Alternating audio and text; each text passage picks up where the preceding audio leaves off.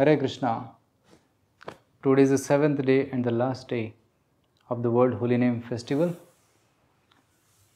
So, for the last couple of days, we have been discussing about the power of the holy name and the benefits of chanting the holy name. So, sometimes while chanting Hare Krishna mantra, people say that, uh, Prabhuji, I am not able to focus my mind on chanting. I am not able to get taste in chanting. What to do? Yes, it is natural that the mind gets distracted from chanting and it goes to other places.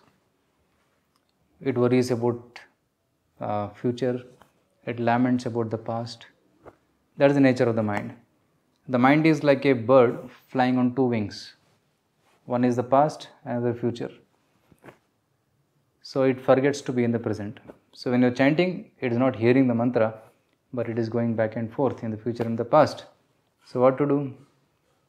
You should bring it back Krishna says in Bhagavad Gita यथो यथो निश्चलित मनस्चंचलम अस्थिर ततस्तो नियमियत आत्मनिय वशम नियत the mind goes away pull it back that is exercise we have to do so by doing this exercise repeatedly one can get steadiness in chanting the distraction will reduce the mind can get absorb in the holy name so another point is people say, I'm not getting taste.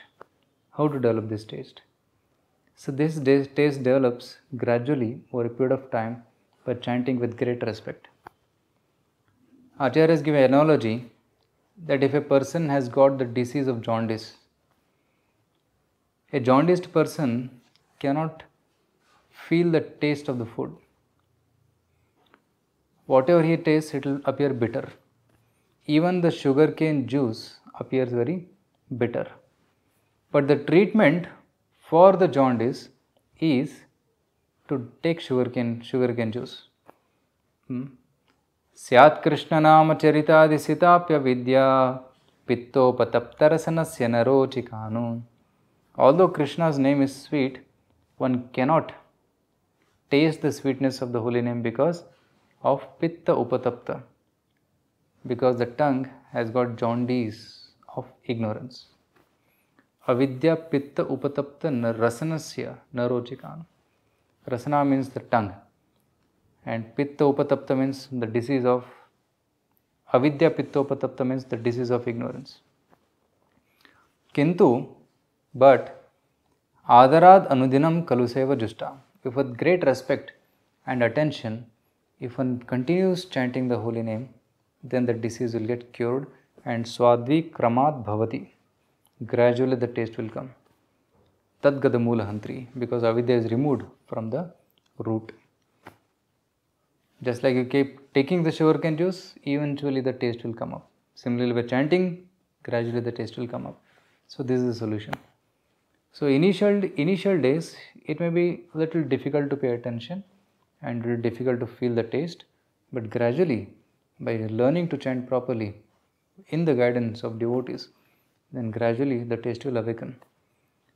Whichever place you are staying, if you can go to the nearest center and meet devotees and chant with them in front of Tulasi with great respect, then slowly the taste will awaken if you go and participate in the kirtan, which happens in the nearby temples or centers, surely the taste will be, the experience will be much better.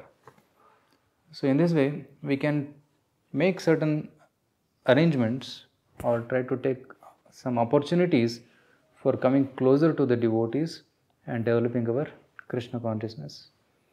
So, today being the last day of the holy name, it doesn't mean that we stop chanting from today onwards. Our chanting should continue from today onwards also. So, our request is whatever you are chanting, please continue chanting. And if you can chant one round Hare Krishna full, that is better.